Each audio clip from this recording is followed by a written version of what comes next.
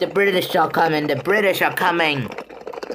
I say, spend little chap. I just stocked up on Tetley tea. Tetley, now we're talking.